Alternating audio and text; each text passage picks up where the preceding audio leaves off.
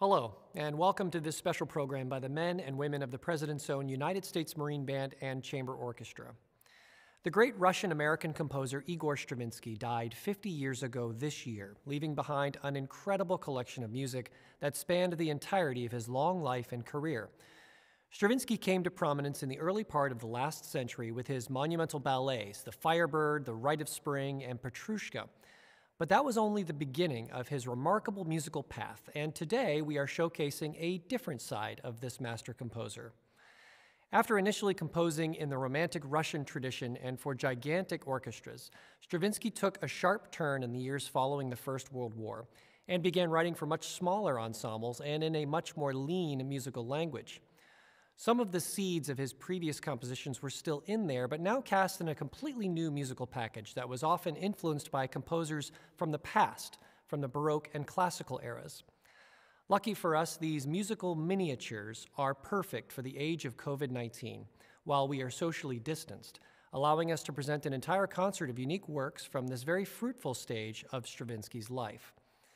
We begin with the orchestra and one of Stravinsky's true masterpieces, his Concerto in E flat from 1936 and 1937, written especially to be performed at Dumbarton Oaks, a famous estate and garden right here in Washington, D.C. We'll follow the concerto with two works based on simple piano pieces that Stravinsky composed earlier in his life the Suite Number One for small orchestra and his eight miniatures for 15 instruments they share the same kind of thematic DNA and take several simple and charming little tunes and spin them into a colorful set of brief musical moments.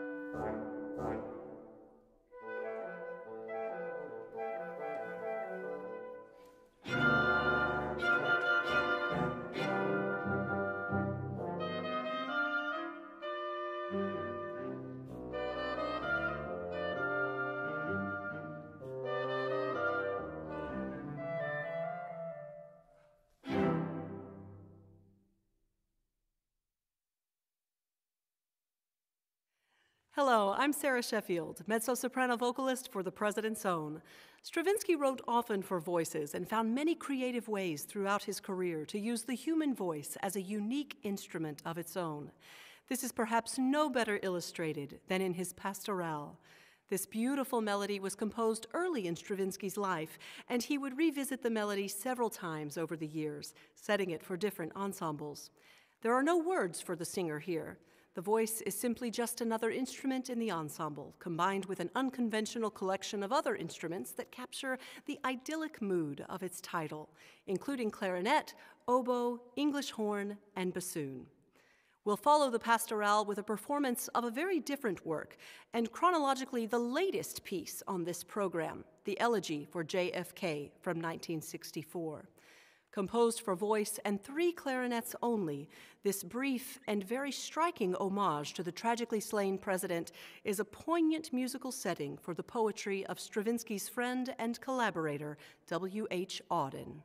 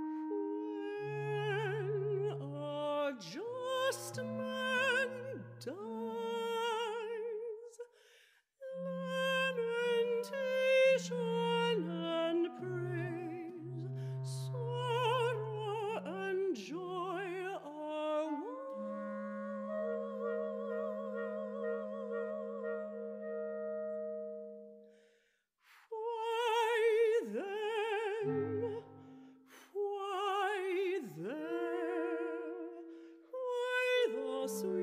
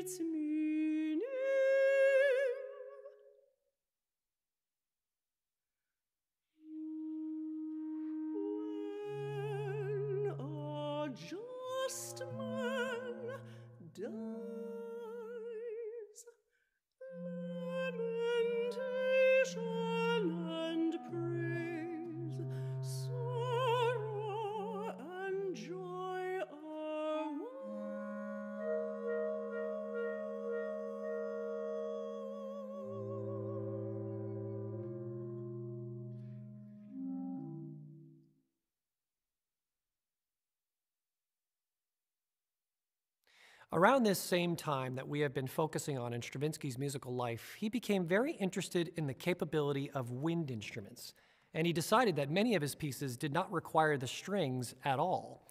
This incredible revelation resulted in several masterpieces for wind instruments alone, and we are proud to present two of these works today. The wind octet as an ensemble is a staple from the classical era in music, and Stravinsky's own octet undoubtedly takes its inspiration from the works in this genre of Mozart and many others. However, this piece is purely Stravinsky's own, and the differences begin with the instrumentation. Rather than the regular classical octet of pairs of woodwinds and horns, Stravinsky's octet mixes in pairs of trumpets and trombones with the bassoons and a flute and clarinet. The resulting sound is unlike anything you would hear elsewhere and makes all of the playful neoclassical gestures he weaves into this work all the more colorful. We'll follow that with a piece that officially cemented Stravinsky's turn from his grand ballets to an entirely new type of music. The title, Symphonies of Wind Instruments, refers to the original definition of the word symphony, which simply means sounding together. Stravinsky experiments with the sounds of different choirs of instruments playing together throughout this work in contrasting musical episodes that change on a dime, kind of like changing the channels on a television. Some are lyrical, some are jazzy, some are earthy and ceremonial. However, if you listen carefully, you discover that these episodes are all connected. The entire piece is inspired by a chorale that Stravinsky composed in memory of the great French composer Claude Debussy. This chorale is heard in its entirety at the end of the piece, but we build up to that moment from the very beginning, repeatedly hearing fragments of the chorale melody in these different episodes and the unusual harmonies that serve as its building blocks. This work was somewhat shocking to those who heard it for the very first time, and people couldn't believe that it came from the same composer who wrote those grand ballets.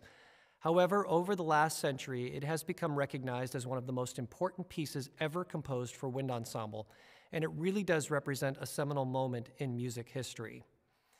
Here now is Stravinsky's octet, followed by symphonies of wind instruments.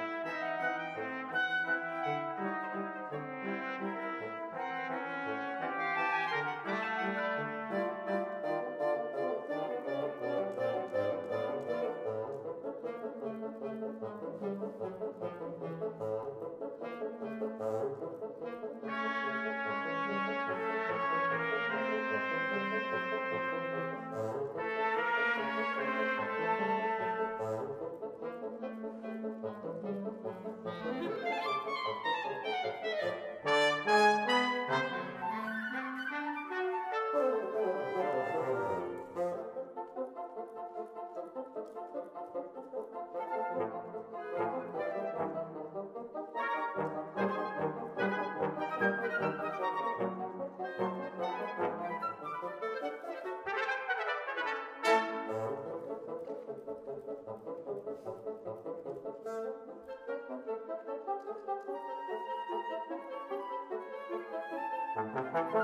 you.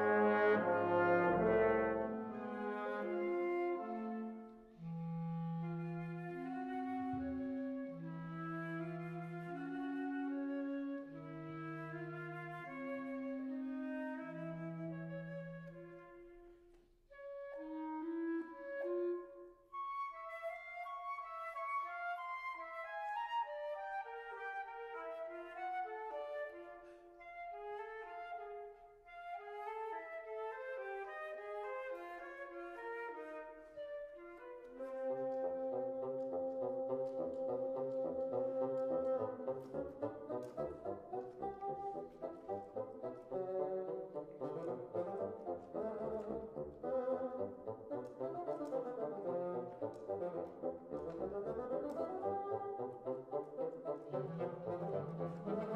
you.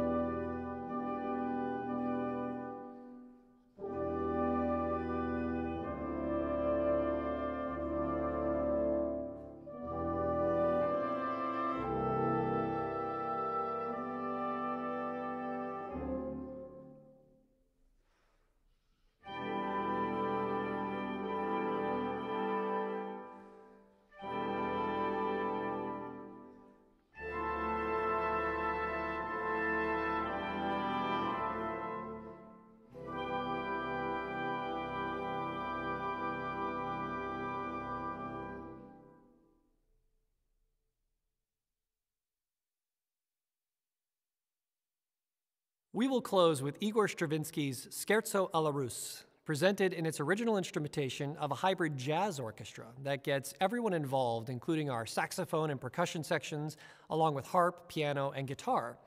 This joyous romp could easily be the kind of music you might have heard while roaming through a Russian fair in the last century, albeit with Stravinsky's own completely inimitable stamp. Thanks so much for joining us today for this commemorative trip through some of the brilliant music of one of the greatest composers in history. We look forward to seeing you again soon, right here, for the next virtual concert by the President's Own.